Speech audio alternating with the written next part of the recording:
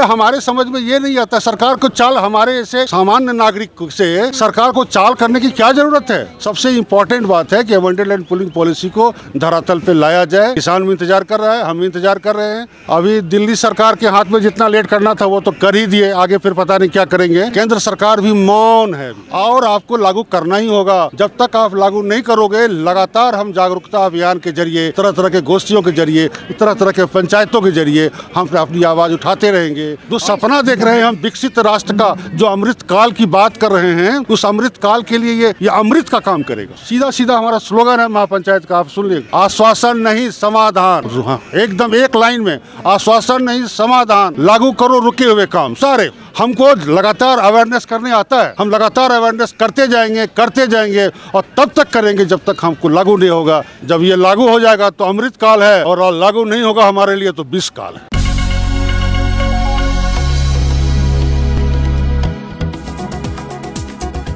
नमस्कार मैं ब्यूटी गिरी और आप देख रहे हैं जनहित आवाज़। अभी हम मौजूद हैं दिल्ली के जंतर मंतर पर और तमाम लोग यहाँ पर आए हुए हैं अपनी मांगों को लेकर। आमतौर पर ये प्रदर्शन धरना चलते रहता है लेकिन ये पुरानी एक मांग है जो डेवलपमेंट को लेकर है। लैंड पुलिंग पॉलिसी जो है उसको लेकर क्या कुछ मांगे हैं? मैडम मैं थोड़ा सा उसमें सुधार करना चाहूँगा। Land pooling policy master plan 2021 का अभी भी है लेकिन वो कारगर नहीं हो सका। उसमें किसानों के लिए भी और जो मेंबर थे उनके लिए भी बहुत सारी समस्याएँ आ गई।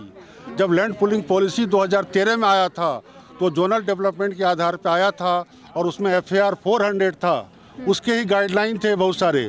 उस गाइडलाइन को फॉलो करते हुए हमारे सारे मेंबर ने बड़े उत्साह से उसमें भाग भागीदारी दिया।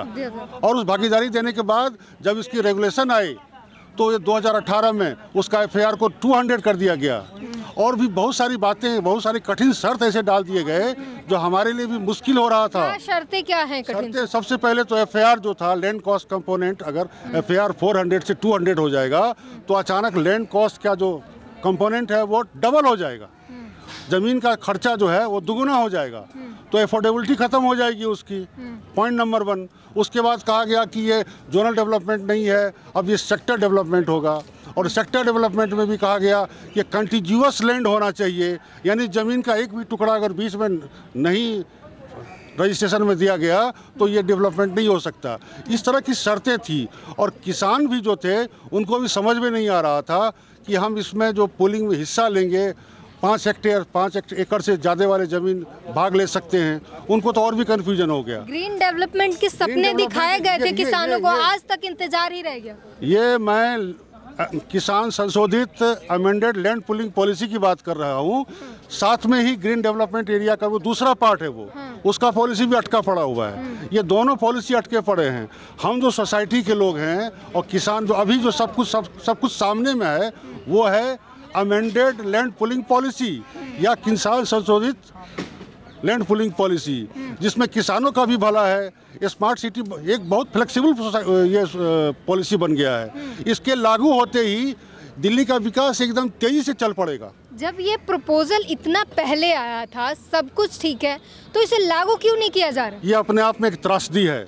2013 से लोगों लोग उत्साह उस वक्त जान रहे थे कि अब जल्दी से जल्दी हम लोगों ने बहुत जल्दी से जल्दी इसमें हिस्सा लिया था। आनन फानन में ज़मीन खरीदा था कि अब तो आ जाएगा तो पता नहीं हम ज़मीन खरीद भी पाएँगे कि नहीं पाएँगे। और जब इसका इंतज़ार करने लगे तो 2018 तक इंतज़ार करते रहे। क्योंकि दिल्ली स्टेट का भी बहुत सा प्रॉब्लम था इसके अंदर में। नहीं ये तो नहीं कि ये चाल थी सरकार की लोग जल्दी जल्दी ज़मीन खरीद लो उसके बाद ऐसे ही जुमले देते रहेंगे। मेरे हमारे समझ में ये नहीं आता सरकार को चाल हमारे ऐसे सामान्य नागरिक से सरकार को चाल करने की क्या ज़रूरत है? हम तो उसके सेवक हैं हर तरीके से। आप तो सेवक नहीं है सर सरकार आपकी सेवक है। नहीं नहीं हम तो इस देश के सेवक हैं सरकार के सेवक क्यों रहेंगे? इस देश के सेवक हैं इनकम टैक्स होल्ड जो देने वाले लोग हैं मध्यम वर्गीय नौकरी पेशा लोग हैं। हमसे धोखा करने का कोई ज़रूरत नहीं है। फिर सरकार कर क्यों नहीं रही? सरकार पूरी तरह से कंफ्यूज हो जाती है। दिल्ली सरकार दिल्ली जो है सरकार नरेंद्र मोदी की सरकार और केजरीवाल की सरकार दोनों कहते हैं कि हम करना चाहते हैं। पहले सबसे पहले तो दिल्ली सरकार के चलते दो साल तीन साल डिले हुआ। जो 2014 में जो आना था रेगुलेशन 2013 में जो आ गया, उसको तो तुरंत आ जाना था वो 2018 में आया। और 2018 के नवंबर से पोर्टल शुरू हुआ और उसके अंदर भी ये सारे प्रॉब्लम हो गए। मैंने आपको कहा कि 400 से एफ़ आई हो गया, किसानों की समस्या आ गई। और उसके बाद तो कोरोना का भी आप जानती है, कोरोना आ गया, किसानों की समस्या अलग। अभी तो उसी कोरोना काल में हम लोगों ने लगातार पीछा नहीं फॉलोअप करना छोड़ा नहीं। हम डीडीए से लगातार और हम भी किसानों के संगठन भी तरह तरह से हम करते गए। और आखिर बार बार बोलने के बाद में वो भी कन्विंस हुए हमारी बात से। फिर हमारे जो सुझाव थे उससे उसको अमेंड किया गया। किसान संशोधित अमेंडेड लैंड पुलिंग पॉलिसी इसका नाम इसलिए पड़ा। और ये अप्रूव होने के लिए अर्बन डेवलपमेंट मिनिस्ट्री में चला गया। अर्बन डेवलपमेंट मिनिस्ट्री ने भी उसको जो जो भी जो भी सजेशन थे उसको अप्रूव कर दिया। अब हम लोग इंतज़ार कर रहे थे कि अब जल्दी आ जाना चाहिए।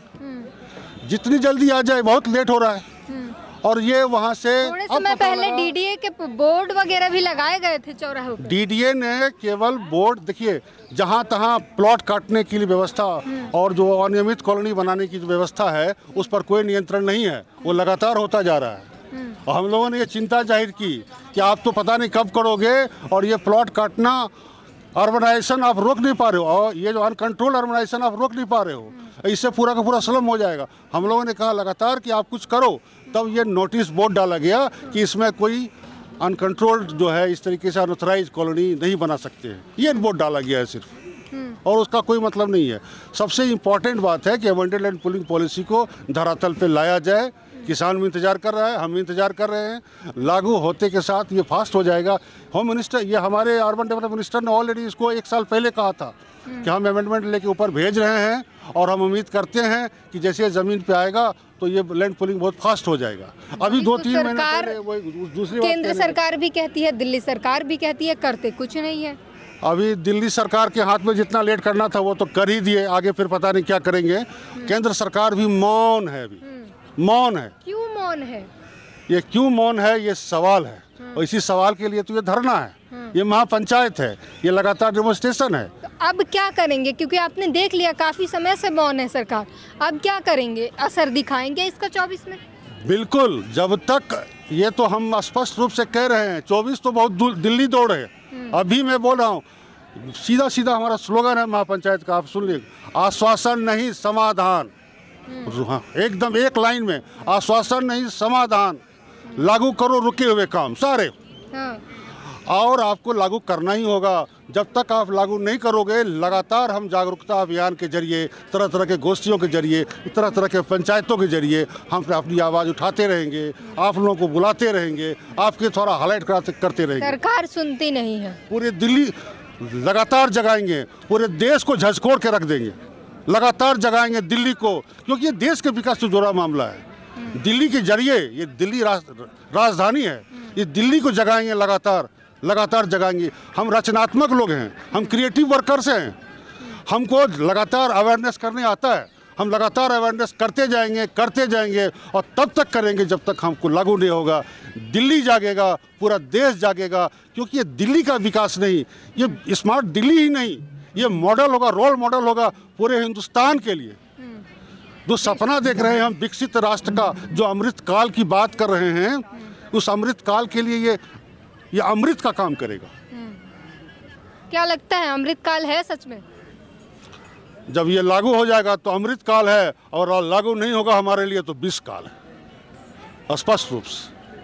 ठीक है। तो आपने सुना किस तरीके से जो है तमाम किसान जो है अलग अलग मुद्दे हैं। और हर मुद्दों पर एक ही कहना है कि सरकार जो है काम नहीं करती।